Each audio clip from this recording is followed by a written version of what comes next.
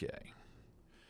We are moving on to the financial 15. So here is the last 15 minutes or so of our um, weekly webinar. And if you're just joining us on YouTube for this section, please be sure to hit the like, subscribe, and notification button. And this financial 15 is um, our financial planning topic, which today is why is financial planning so important?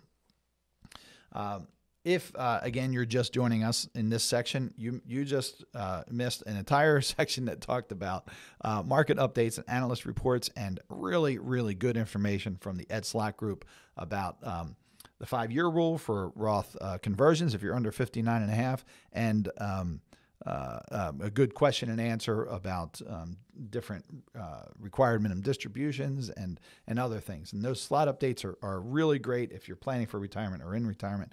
Kind of keeps you at the top of your game and knows uh, keeps your you thinking about what you have to pay attention to. I don't expect any of you folks to become expert. I just want you to know, um, you know, kind of if something triggers a thought like, wait a minute, I better check with Mark before I do this uh, so I don't get myself in a bind.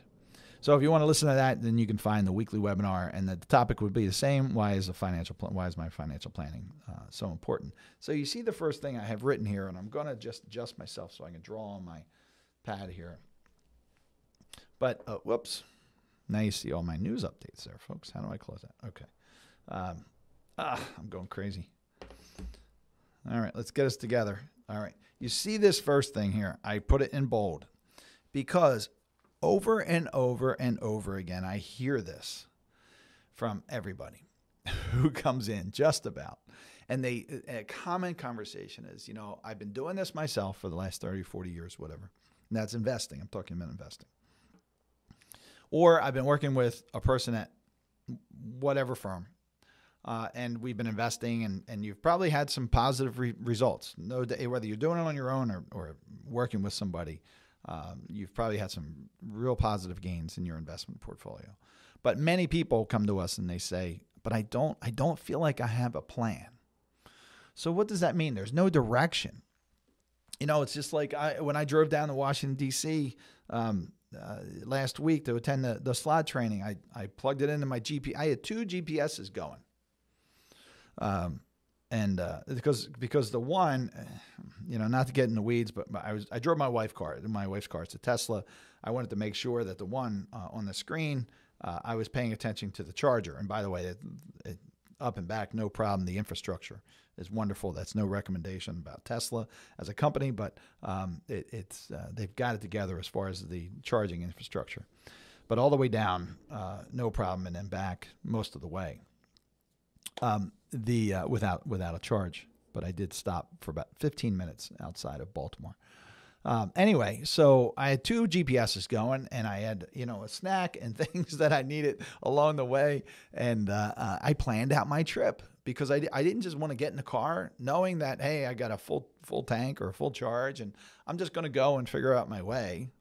Um, I wanted to make sure that I had it planned out. I knew exactly when I was going to get there or what the estimate time. I made some. Um, I, I made some concessions for potential traffic because I knew I was going around some difficult areas.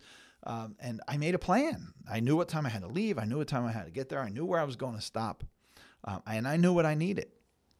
It would have been absolutely crazy just to jump in the car and figure it out as I went.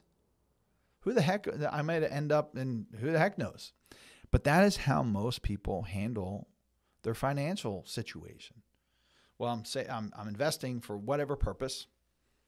I'm reading some information. I'm putting my money in different things that I think that are going to do well, or I'm just I'm following the guidance of this this person I'm working with, and and we're just kind of moving along. And again, it's been it, it's it's I don't want to say it's been easy, but you've had a pretty good time of having some growth. But then there's just no plan. So there's no plan to get to where you need to go. And that for most people, that's okay, I want to retire at this day, or I want the option to retire at this time. And then most importantly, how does it draw down? Right? Many people, and I will give it credit. You know, I've talked to financial advisors all around the country, been um, you know asked to speak in front of groups, and most of the folks do a wonderful job of growing your money. Very few of us spend the time, education, and resources to learn about how to get that money out of that portfolio most effective, those investment portfolios. And you can't do it without a plan. Folks, you cannot do it without a plan. So it's and it's more than just uh, goals and risk tolerances. So many people talk about financial planning and they they they do a very cursory job and they say, okay, tell me how much you need to spend every year, and you say ten thousand dollars a month, and people just take that on face value, and that's often not the answer, by the way. And I, and even if you're an engineer and you keep you keep um, really detailed records, we usually find areas that well, maybe the spending might be more, or sometimes it's less. Often it's more. Often it's more. So you have to account for that. And it's more than just your goals and risk tolerances. And many people just set it up like, okay, my goal is to retire at 65. I'm going to need $10,000 a year. And uh, I'm about a, uh, you know, on a scale of one to 10, uh, 10 being the most aggressive, one being the most conservative, I'm about a five. And most financial advisors say, okay, we're going to take your, your basic goals and we're gonna we're gonna consider those, and then we're gonna develop a portfolio based on your risk tolerances. You heard Cornerstone say you should be investing up to your maximum risk tolerances, but that's not how you should be investing, right? You should be investing based on what your needs are given any time in your life, and make sure that you're making sure your cash flow is available and making sure that you've got the growth you need or want during your lifetime. Folks, you can't do that without a plan. So it's more than just goals and risk tolerances. It gives you a foundation for decisions. I had to decide on my way down to Washington if I was going to stop, you know, two hours in or, or, or an hour and a half in or two and a half hours in to get to my destination and what that meant. If I was going to wait to eat till I got there or eat along the way, I had these decisions to make. But my decisions were based on, you know, I had to be there at two, two o'clock, let's just say, for the board meeting for Ed. And I didn't want to be late for that. So I, I had I had um, a plan I had to make along the way.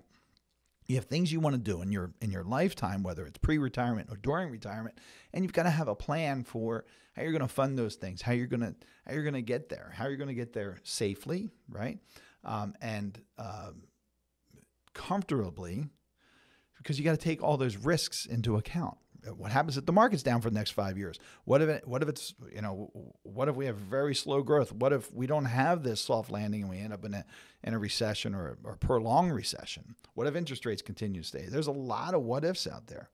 So you have to have this foundation for decisions, and they're investment decisions. You know, every time a staff member comes to me and says, "How are we going to invest the? You know, we've got you know two hundred thousand dollars in this client's account." They just rolled over this uh, IRA, whatever. Uh, where does it? How does it get invested? And I always say, well, what what's the plan say? Where does it fit in into the plan? Because the plan drives that investment choice. So it gives you your foundation for decisions on your investments. Because if you know how you should be invested for that segment of money or that that time in your in your plan, it gives you clarity on how those funds should be invested. So that will help when um, when you have challenging times or uh, you can look at your your individual accounts and say, well, you know what, we did we earned five percent. My neighbor just told me he earned ten percent, but that doesn't really matter to your plan, right? Um, so it gives you uh, it gives you good uh, a good foundation for those investment decisions. Does that? I hope that makes sense. It gives you a foundation for spending. So many people come to us and say, uh, you know, we really want to travel during the first few years of, of our uh, vacation, or excuse me, our retirement, like a permanent vacation. But uh, first few years of our retirement, we want to we want to travel a lot, and you know sometimes that could be thirty five thousand dollars a year. You know, the average we see people spend uh, is about ten thousand dollars a year. That's creeping up pretty quickly, but many people spend thirty forty thousand dollars a year in um, in the first few years of retirement and vacation. And without a financial plan, without kind of stress testing what that looks like, you don't know if that's going to be a good thing or a bad thing or something that's doable or something that's not doable. Again, if I if I left if I instead of driving to Washington D.C., which is about three hours from where I am, I was confident that I could reach there on that that full charge that I had in the car, or whether it's a full tank of gas. Well, if I was driving to Florida, folks, I I I would have had to stop a couple times. So it's a different situation. So that's the difference. That sometimes that's the difference between spending ten thousand dollars a year in retirement or spending uh, thirty-five thousand dollars a year. It could dramatic, dramatically um, affect your plan And without even having a plan, a strong foundation, you wouldn't know how that could potentially affect things in the long run or maybe even in the short term. Um, so your spending, yes, it gives you a good foundation for spending. You know, travel is just one thing. Some people come and they say, we want to buy a shore house. We want to buy a vacation house. We want to buy a new car. Folks, a new car will cost you sometimes 80, 90, $100,000. So these are significant expenditures. And they like to see how that's going to affect things and how you affect decisions. I realize I'm blocking my um, my marks up, markups a little bit. Um, and then of course your lifetime, right? Your your your your lifetime um, uh, comfort and the things you want to do, like travel, like experiences, like gifting. What if you couldn't say, or uh, what if you you didn't have clarity on? Well, listen, I really want to start gifting to my children or I want to start gifting to my charity or church or whomever.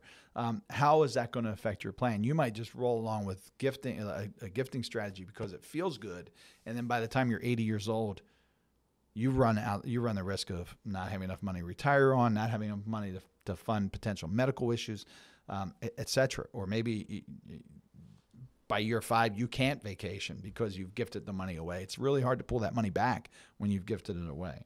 Um, and you might miss out on experiences because people go the other way too. They don't always just overspend, sometimes they underspend. Sometimes they feel, you know, I saw this a lot with uh, in, in the previous generations where, where there was some um, exposure to the depression and things like that, people would say, I don't want to go out to dinner with Them. I'm thinking of one person in particular. We could not get this woman to spend her money. She was always saying she cannot go out to, to dinner or lunch with her friends, and she had plenty of money to do that.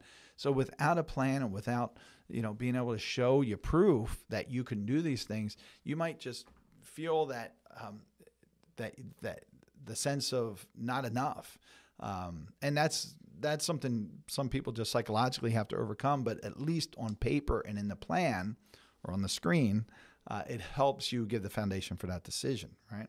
And you maybe don't miss out on those experiences allows you to see different potential outcomes to different decisions or actions, and you can out, act accordingly. This happens all the time. People come in, well, okay, we're thinking about moving to wherever. Now, what if we did this? What if we bought a house for $500,000? What if we rent it for the next 20 years instead of bought a house? What if, uh, what if instead of Florida, we moved to Alabama? What if instead of uh, Alabama, it was Arizona? And, um, and that include, that might include travel back and forth from different places. And um, what if I retired last year, but I'd like to I'd like to continue working. I was offered a job. What if I work for another five years if this works out? And what does that look like in our plan? What if we start gifting now? What if we want to leave a million dollars to our kids? What if we want to leave nothing to our kids? What does that look like, right? So it allows you to see different potential outcomes to identify uh, to different decisions or actions, and you can act accordingly.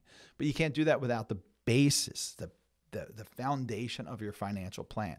Again, this is why it's so important. It helps you make prudent decisions throughout your lifetime. And that's important. And it becomes, listen, folks, I, I'm going to talk about how often you should do this. But of course, you're going to hear me say you should do this every year because it just becomes a pattern. It come, becomes a behavior. So when you make certain decisions, you have a conversation with us. We run it through, and I'm not talking about you know should I should I spend the extra ten dollars on the organic pork chops instead of non-organic pork chops. I'm talking about significant life decisions, and it's helpful to talk to. I do it. I I will contact my my trusted advisor, my accountant, um, and I'll say, "Hey, I'm thinking about doing this. What do you think? Do you see any negative sides of it? Uh, do you, uh, you know, any anything that I might be missing?" So it's really, really important. But again, without a financial plan, I wouldn't be able to make those decisions because I have to see what the what the the effect is going to be in the short term, uh, mid midterm, and certainly long term. All right, let's slide back up here. So number two identifies issue that issues that you may not be aware of. Here are some examples. IRMAA, income related monthly adjustment amounts that affect the the amount that you're going to pay towards uh, Medicare. I hear this all the time. People read books, uh, attend webinars, um, attend um, seminars, and they talk about the, the virtues of tax efficient planning. I talk about I think this is very very important. Of course, if you've been listening to me for more than a minute, you know that that is an area we focus greatly on and I am passionate about it and we make significant life changes for people um, in our practice. Absolutely life-changing kind of events uh, and actions. Uh, but you can really get carried away with that. And if you're not ready for it, things like IRMAA, we have a tool that calculates um, the, the potential cost of IRMAA by doing by doing Roth conversions. We're typically talking about Roth conversions by doing Roth conversions or not doing Roth conversions, so that you can decide accordingly. You know, we often see where you're, over your lifetime you're going to spend $130,000 on IRMAA compared to $60,000 if you do it via Roth conversions, and that's a pretty easy decision in my book. But you can decide accordingly. But if you are, I I will tell you, if you are between 55 and 60 years old, or I would say younger than 55 or 60 years old, and you haven't started the discussion around retirement planning, this thing called IRMAA is not even on your radar. Nor likely is taxation on Social Security. And that's the next bullet item is tax on Social Security. Again, if you're not already experiencing it, you might not know that up to 85% of your um, of your Social Security benefit can be subject to tax.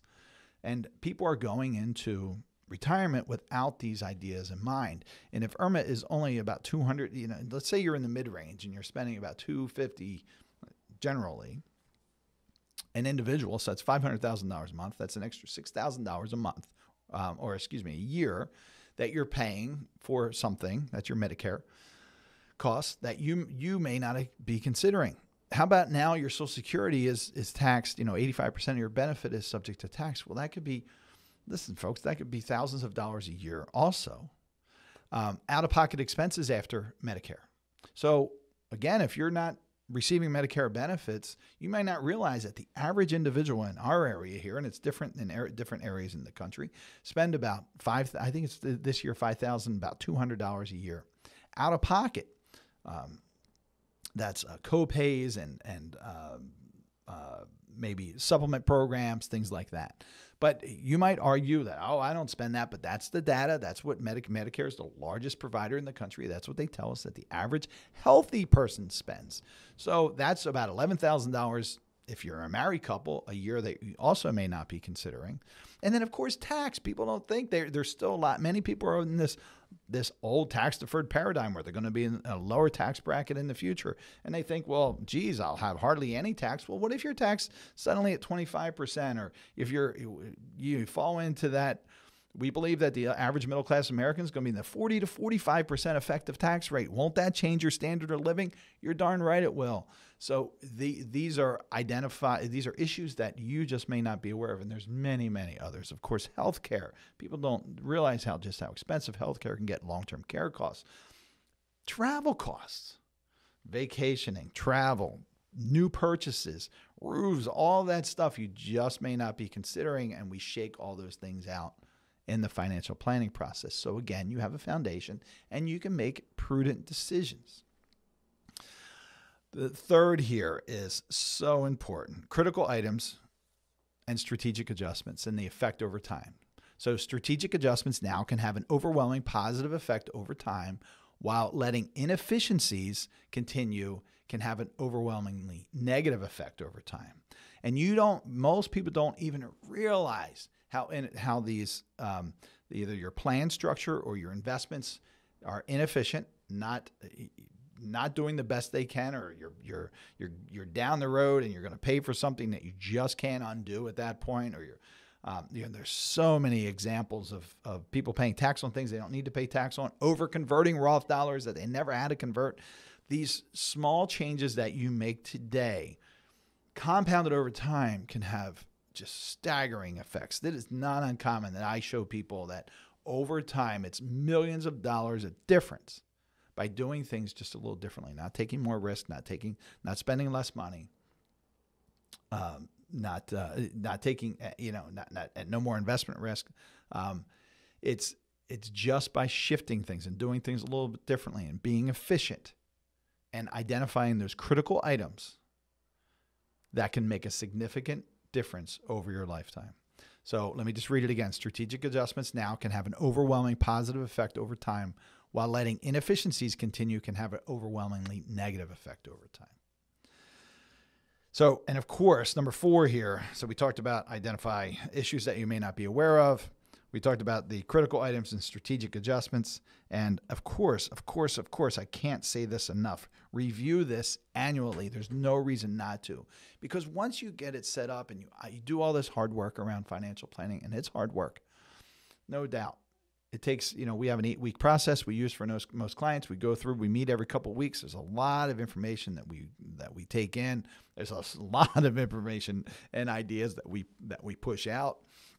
Um, and then we have to do it again every year because if you just let it sit, you might be running really well and firing on all cylinders, whatever analogy you want to use. And then over time, you're going to drift away from that. The plan is just going to drift away because things change. Investment options change, investment efficiencies change, um, taxes change, uh, economic situations change. So just review it every year.